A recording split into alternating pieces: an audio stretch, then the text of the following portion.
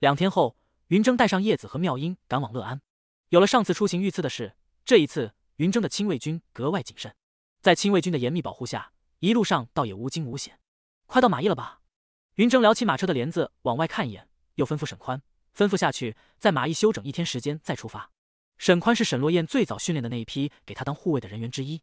从云峥来到朔北，沈宽就在他的亲卫军中。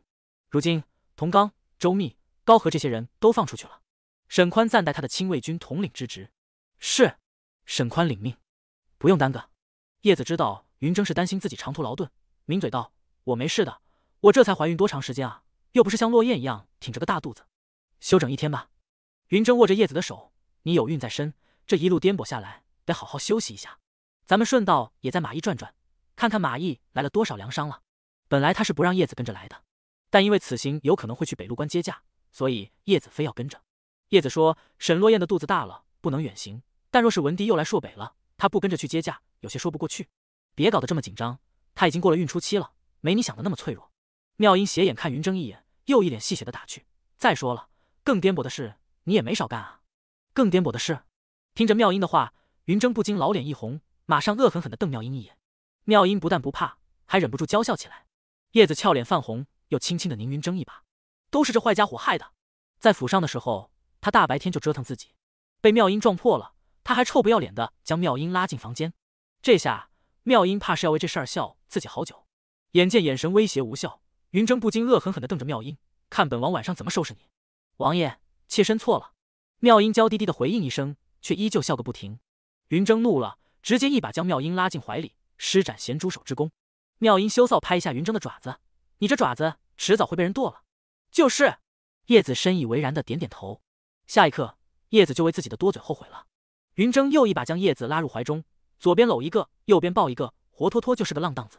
三人一路笑闹，终于赶到马邑。入了城，云峥总算是收敛了。云峥撩起帘子往马车外看了一阵，放下帘子间，又有些惊喜的看向叶子，感觉马邑的客商好像多了不少啊。就这一会儿功夫，他就看到了好几波客商队伍。原本还算宽敞的马邑街道，似乎也变得拥挤了些。可不是吗？叶子抿嘴一笑，都知道朔北在打仗，各种物资紧缺。咱们又从来不会抢这些客商的货物，好多客商都愿意从关内运来货物贩售，然后再从朔北购买货物带回关内的贩售。马邑是整个朔北的物资中转站，在云峥的严格要求下，马邑的营商环境非常好，往来的客商多了，也进一步带动了马邑的发展。虽然定北才是朔北的行政中心，但马邑无疑是朔北最繁华的城池。就是要这样，云峥脸上露出满意之色。要是朔北每一座城都能像马邑一样，朔北的百姓就能安居乐业了，发展商业。无疑是让一座城快速发展的捷径。以后西北都护府那边的特产也可以进入朔北，不过不能把什么东西都放在马邑中转贩售，也要给其他城市一些机会。这些客商在朔北停留的时间越长，对朔北的经济发展越有好处。突然之间，云峥脑海中就想到一句话：优化产业布局。趁着这个冬天，可以好好的规划一下各城的产业，最好是每一座城都有支柱产业，让这些客商进入朔北更多的城池，从而带动更多城池的发展。正当云峥默默思索的时候，马车突然停下。叶子撩起帘子，刚要询问是怎么回事，沈宽就凑过来汇报：“子夫人，前面有人把路堵住了，小的已经派人去查看情况了。”嗯，好。叶子微微颔首，又提醒沈宽：“你现在是殿下的亲卫军统领，当以末将自称，别再自称小人了。”沈宽尴尬一笑：“末将记住了。”叶子微笑，缓缓放下帘子。不一会儿，沈宽又前来汇报。前方道路拥堵，是因为一群客商起了争执造成的。据了解，好像是有粮商想要低价卖粮，但另外一些粮商却拦着他们，不允许他们低价卖粮，扰乱市场。这就导致双方一直争执不休，把前方的道路都堵住了。听着沈宽的汇报，云峥和叶子不禁相视一笑。这么快就有粮商撑不住了呀？怎么办？要不要干涉一下？叶子抿嘴笑道：“那些粮商自己不降价，也不允许别人降价贩卖粮食，有些过了。过吗？”云峥笑笑。确实有些过，这就跟前世那些自以为是的邻居一样，自己不降价卖房子，还不允许别人降价卖，不但不觉得自己无耻，还觉得自己有理。不过站在他们的角度来说，这些人这么干对他们其实有好处。现在这些大大小小的粮商运来朔北的粮食还不够多，至少对云峥和叶子来说还不够多。如果可能的话，他们甚至希望这些粮商能运送几千万担粮食来朔北。如果现在因为这些撑不住的粮商将粮价打下来了，肯定无法吸引更多的粮商运送更多的粮食来到朔北，运来朔北的粮食越多，粮食的价格崩盘的时候，跌的才越狠。云峥默默的思索一阵，马上吩咐沈宽，先派人暗中盯住那些个想降价出售粮食的粮商。是，沈宽马上去安排。然后呢？叶子询问云峥：“你打算呢把他们的粮食吃下去？”嗯，云峥点头，先命人以比我们开出的价格稍微低一点点的价格，将那些人手中的粮食吃下去。这样，那些不肯降价的粮商就会看到希望，会选择继续观望。现在的粮商运来的粮食还不足够多，这些粮商继续留在朔北。才能吸引更多的粮商运送粮食前来，而且这些粮商和他们的商队人员都是要吃喝拉撒的，他们多在马邑待一天，也能多为马邑的经济做贡献，不是？你可真损，遇到你这样的王爷，也算是他们倒霉。叶子嘴里调侃着云峥，眼中却充斥着浓浓的爱意。两天后，他们终于赶到乐安，在他们赶往乐安的路上，已经经历了一场小雪。过了马邑之后，倒是没有下雪了，但这天气却更冷了些。云峥刚拉着叶子从马车上走下来。一阵寒风便席卷而来，刚从马车上下来的叶子不禁冷得一个哆嗦。新生见状，赶紧拿出雪白的貂绒披风递过来：“子夫人，奴婢帮你把披风披上吧，别冻坏了身子。”嗯，叶子轻轻点头：“我来吧。”云峥从新生手中接过披风，缓缓帮叶子披上，这才带着吉女往前走去。叶子人由云峥拉着手，又抬头看了一眼雾蒙蒙的天，这两天估计要下大雪了，咱们正好看看乐安的百姓有没有过冬的物资。如果他们没有过冬的物资，恐怕得从军需中调拨部分物资过来，这不行。云峥想也不想的拒绝，军需就是军需，将士们在外流血征战，虽然现在没打仗了，但也不是不需要操练的，冻着谁都不能冻着他们。他宁愿派人去富州，将那些不行、程一行全部扫荡了，都不愿意动军需。看着云峥这坚定的模样，叶子和妙音不禁无奈一笑。算了，不动军需就不动军需吧，反正现在也还没到最冷的时候。陈部已经命人加紧从关内大量购入御寒物资了，估计。很快就有大量的御寒物资进入朔北。此刻的乐安看上去很是破落。当然，反过来看的话，也可以说这里正在成长。外围的城墙已经建了有半丈高，城中的道路都是以石板和水泥铺设而成。朔北的水泥产量还是非常有限，想直接以水泥混合碎石来铺路，暂时不现实。在道路两旁有着零星的一些房子，好一点的是以石头堆砌成墙体，次一点是以夯土围墙，再次一点的就是那种以茅草捆扎而成的墙体。有些房子是已经建好了，有些还在抓紧时间建设中。另外还有一些官府提供的赈灾营帐，但营帐里面基本看不到人，估计大多数人都在忙碌着。看到他们这一群人，很多百姓都下意识的停下手中的活，好奇的张望过来。不过面对这些披甲执锐的士卒，没人敢靠上前来。不多时，云峥就看到一家粮铺，粮铺门口还有几个衙役守着，这是怕这些百姓抢粮吗？妙音低声询问叶子。嗯，叶子轻轻点头。刚开始那会儿，这边发生过灾民哄抢粮铺的事，后来派人在粮铺、钱庄这些地方守着，才逐渐杜绝了这种事。那这些灾民有钱买粮吗？妙音又问。大多数人应该还是有的。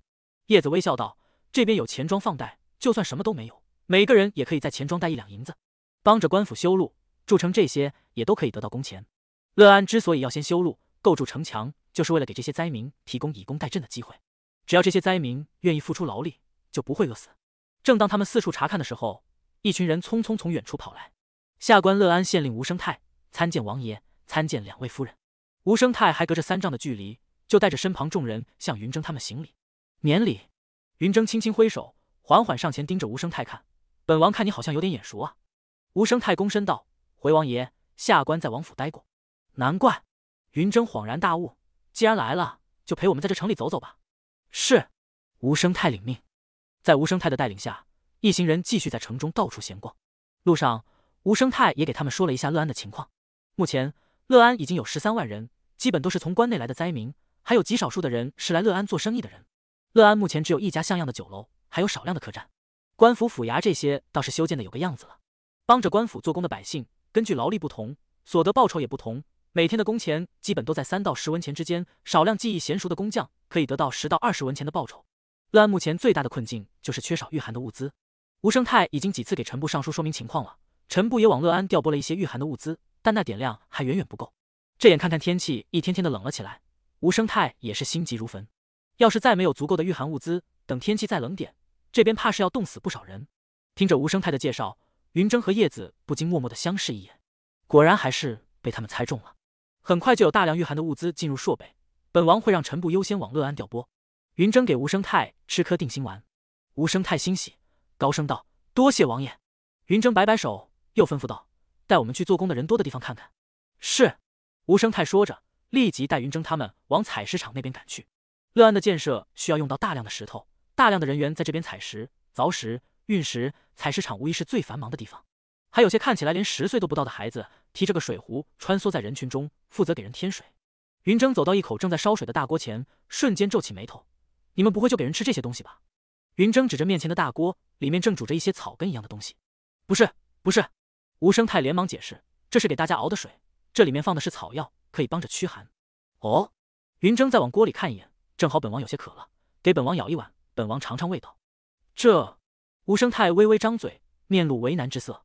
云峥看出吴生泰的异样：“怎么，本王喝不得这个？”“不是，不是。”吴生泰连忙摇头，回王爷：“以这种草药熬制的水，虽然可以驱寒，但会让人很难受，很难受。”云峥更好奇了：“你这么说，本王还真要尝尝，看看怎么个难受法。”云峥说着，冲旁边的沈宽使个眼色：“殿下，还是让末将先尝尝吧。”沈宽警惕道：“谁都不知道这水里面是否有毒，该谨慎还是要谨慎。”行吧。云峥颔首，也不多说。沈宽立即舀了小半碗热气滚滚的草药水，稍稍吹凉。便往嘴里灌，刚一口水灌下去，沈宽便感觉到不对劲。下一刻，沈宽猛然拔刀架在吴生泰的脖子上，杀气腾腾的怒喝：“大胆，竟敢谋害殿下！来人，将熬制草药水的人全部抓起来！”随着沈宽的一声令下，云峥的亲卫军迅速行动。不消片刻时间，吴生泰一行人连同熬制药水的几个人全部被控制起来。这突如其来的变故将众人吓傻，连云峥都有些懵：“怎么回事？”云峥皱眉看向满脸杀气的沈宽。回殿下，这水多半有毒。沈宽下意识的张嘴吸了两口凉气，这才接着说：“喝了这水，嘴里和舌头都灼痛异常。”灼痛异常。云峥扭头看向吴生泰：“不会吧？难道这吴生泰是谁安插来的奸险？”王爷冤枉啊！吴生泰终于回过神来，哀嚎道：“下官绝不敢谋害王爷。这水，这水喝了，他就是这样啊！下官刚才给王爷说过呀，求王爷明鉴。说过了吗？”吴生泰倒是给他们说过了，王爷冤枉啊！这水就是这样啊！王爷，采石场的人都喝的这个水，这个这个真没毒啊，就是开始有点灼痛，很快就没事了，身上还暖洋洋的。求王爷明鉴，王爷要不信，小人可以当着王爷的面喝。众人纷纷哀嚎，七嘴八舌的解释，每个人都是一脸无辜的模样。先把刀收起来。云峥冲沈宽使个眼色，搞不好这就是这草药的功效，别大惊小怪的。是。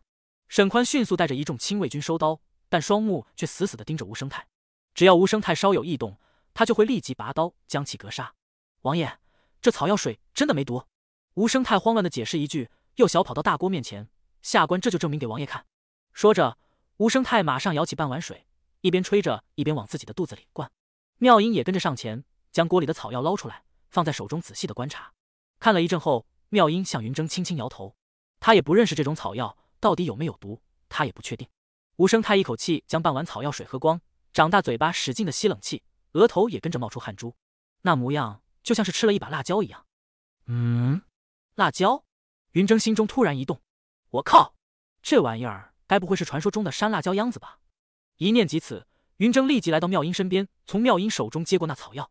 不过他前世只听说过山辣椒秧子，也没见过，只知道这玩意儿还有个名字叫东北铁线莲。据说东北那边很多，东北都有，朔北也有，就完全不奇怪了。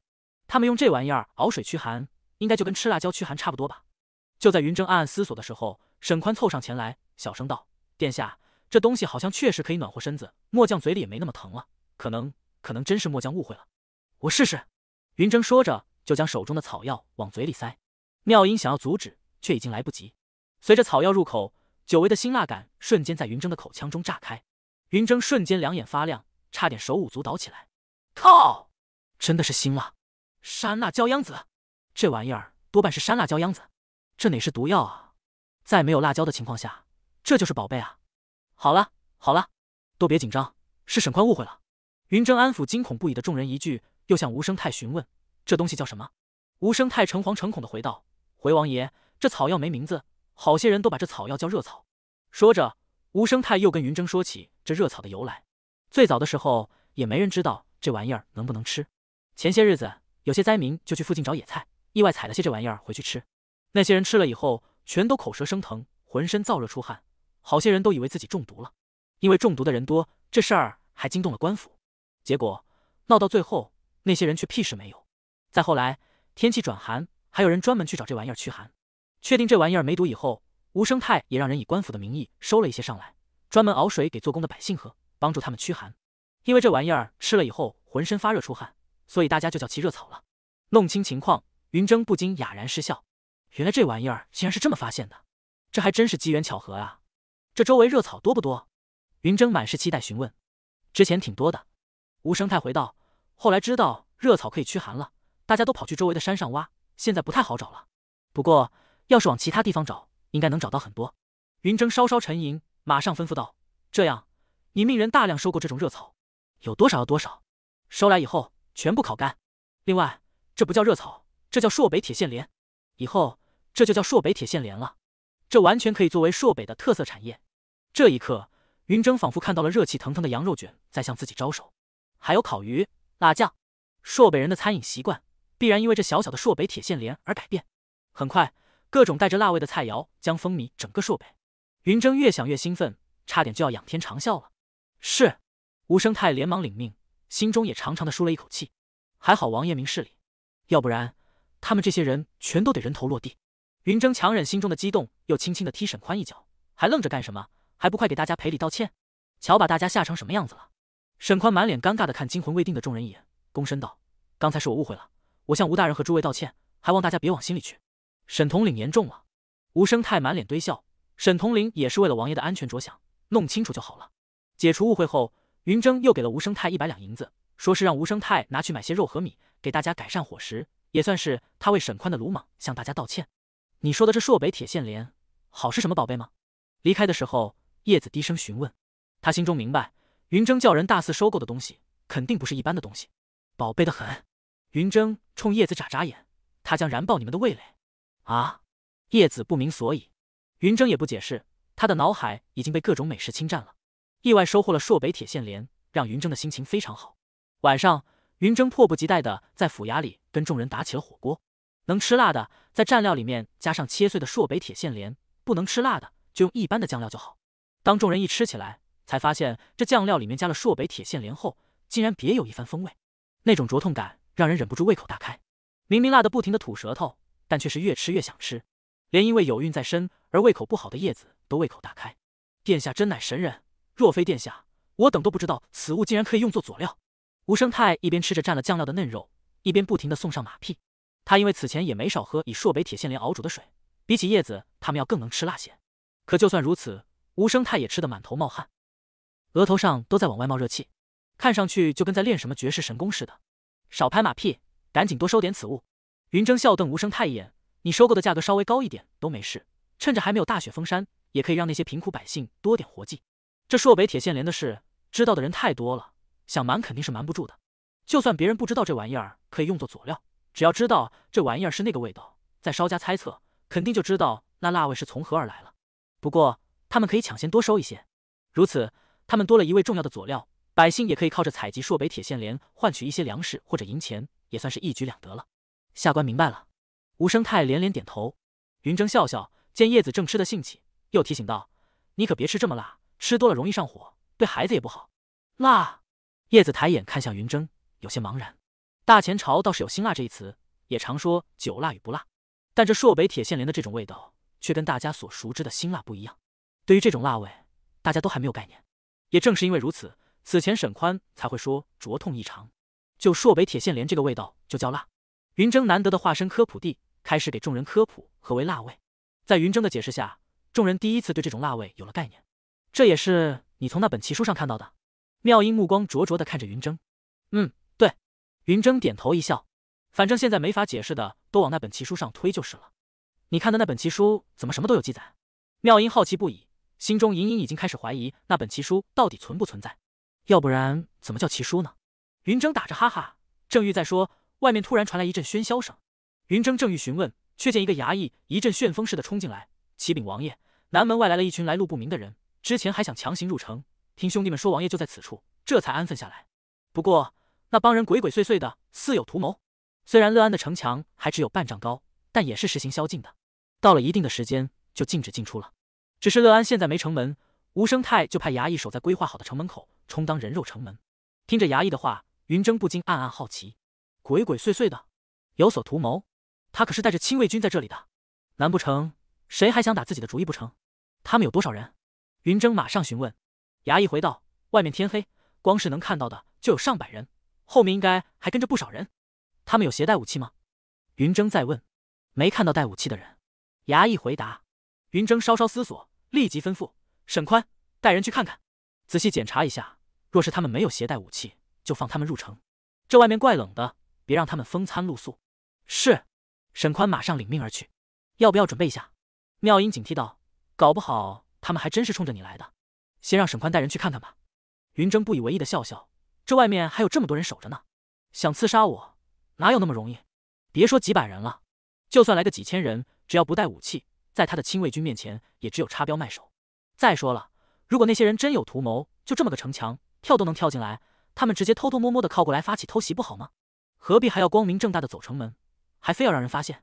妙音本来还有所担心，听云峥这么一说，倒也是这么个理，当下也不再多说。行了，别疑神疑鬼的，继续吃东西吧。云峥倒是无所谓，跟个没事人一样，继续享受眼前的美食。要是这么点状况，他们就要搞得如临大敌似的，以后干脆就别出门了。见云峥一脸轻松，几人也逐渐放下心来。云峥喝了一小口酒，放下酒杯之际，又跟吴生泰说。回头还是得让人在城里多建几家大型客栈，虽然现在没有多少过往的人，但也可以提前备着。